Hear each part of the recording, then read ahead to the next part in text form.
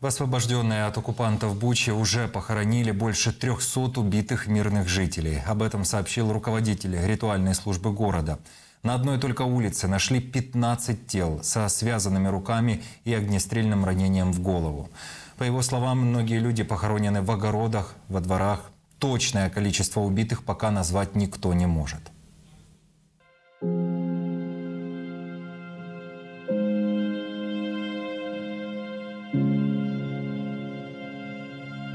Буча была в оккупации месяц. Русские солдаты прикрывались мирными жителями и их жилищами.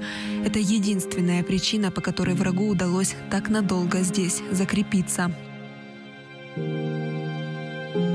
Благодаря усилиям наших военных, которые не упускали ни одной возможности ударить по врагу, русскую армию удалось выгнать. Орали, их там прошли все. Все их накрыло, всех накрыло. Они бегали, покидали оружие, бегали, куда нам бежать, кричали.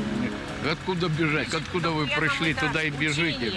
Украинских солдат здесь встречают со слезами на глазах. Слава Украине! Парни, вы же нас не покидайте. Мы еле выжили. від реакції місцевих, От реакции местных я сам прослезился. Это была неподдельная эмоция. що це була не, не підробна така емоція. Когда мы говорили «добрый день», люди начинали просто плакать. Люди починали просто плакати. Некоторые улицы и места в Буче стали братской могилой. Тільки на цій вулиці. Це Только вулиця на этой улице мы насчитали около 20 мирных, которых расстреляли русские. цивільних, яких е, розстріляли росіяни. Им связывали руки за спиной и стреляли в затылок. О судьбах этих мирных людей, убитых из-за нечеловеческой жестокости, говорить без слез невозможно. Женщина тут в подвале сидела. Говорит мне, Таня, иди, там у нас в подвале двое лежит. Может, там твой. В подвалах оккупанты устраивали пыточные. Е, Була кімната для допитів. Была комната для допросов, Відповідно, п'ять а в замовних соседней пять замученных людей со связанными руками осіб, зв'язаних з зв'язаних зв'язаними руками, и простреленными головами. пристр- з простреленими головами в затилок. Практически каждый дом, каждая квартира разграблены, вывернуты все шкафы.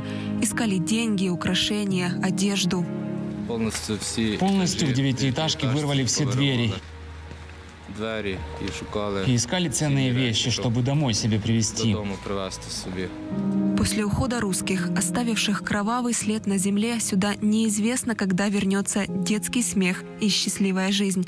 Прощения для России за все зверства и убийства мирных и безоружных не будет никогда.